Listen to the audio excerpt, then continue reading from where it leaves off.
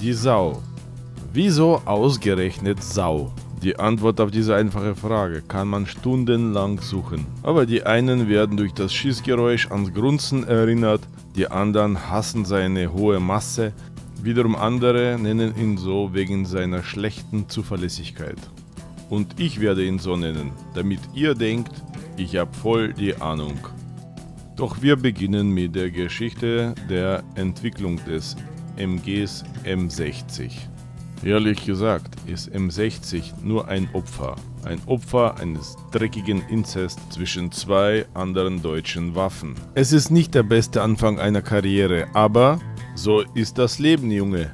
Die Amerikaner haben das Prinzip des deutschen Einheits-MGs sehr genau analysiert und kamen darauf, dass es eine gute Idee ist, für alle Einsatzzwecke ein MG zu haben und natürlich machten sie sich daran, ein eigenes zu entwickeln. Also haben im Jahre 1946 die amerikanischen Ingenieure zwei deutsche Babys miteinander gekreuzt, das MG-42 und das Fallschirmjägergewehr FG-42, das sehr einzigartig war für seine Klasse. Wer hätte das gedacht? Beim Kreuzen von zwei Arian ist eine Sau rausgekommen.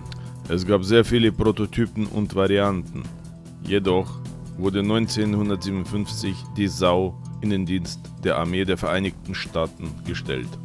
Doch jetzt tauchen wir ein in die stinkende Grube voller Probleme des M60. Ein stark gebrauchter M60 konnte schon mal alleine einen Schuss auslösen. Das Gasrückführungssystem konnte beim Schießen schon mal auseinanderfallen. Das Zweibein wurde fest mit dem Lauf verschweißt. Muss ich erwähnen, dass es dadurch zu Problemen beim Laufwechsel kam. Und dann war da noch sowas wie eine viel zu geringe Festigkeit. Kurz gesagt, ist diese Sau etwas Besonderes. Sie hasst Dreck und einen schlechten Umgang. Jedoch sollte man nicht glauben, dass M60 ganzheitlich aus Nachteilen besteht. Nein, nein, 600 Mal in der Minute, nein. Im Gegensatz zu den M16-Gewehrchen konnte die Sau auch die Feinde, die sich hinter Laub oder Baumstämmen verstecken, von den Vorteilen der Demokratie überzeugen. Dabei konnte er auf einem Zweibein oder einem Dreibein stehen und konnte in einen Schützenpanzer, ein Boot oder in einen Hubschrauber eingebaut werden. Und eben mit der Montage in der Technik wurden die meisten Probleme mit der Verschmutzung und schlechter Behandlung gelöst. Ja, die Infanterie hat es schwer. Ja, die Sau wiegt über 10 Kilogramm.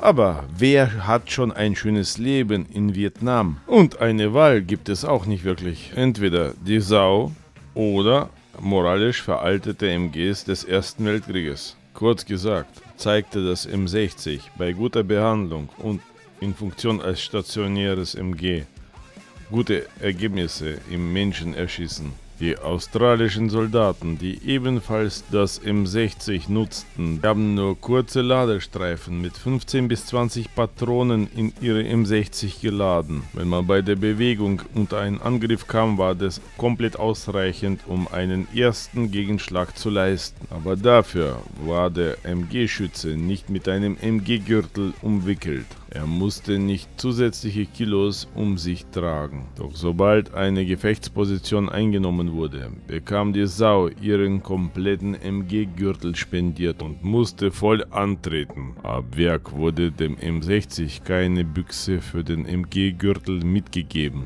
Daher befestigten amerikanische MG-Schützen links vom Lauf eine Büchse von Konservendosen. Dort kam der MG-Gurt rein, zur Bequemlichkeit.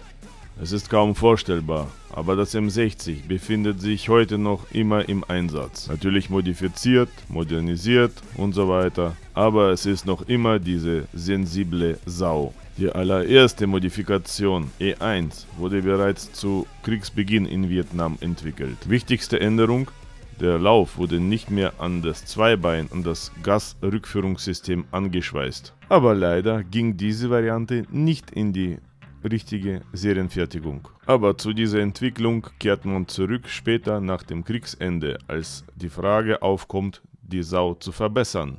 Zusätzlich erwähnen kann man die Modifikation mit dem Index C, die elektronisch gesteuert für Gunchips verwendet werden. Und das M60D, vereinfachte Version zum Montage in Technik.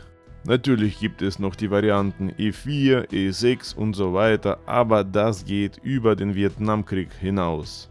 Für weitere Geschichten über Vietnam unten drücken Daumen hoch, Abo und kommentieren. Und diejenigen, die von der Mama weggezogen sind, und ihr eigenes Geld verdienen, können eine Kanalmitgliedschaft abschließen und mich somit unterstützen.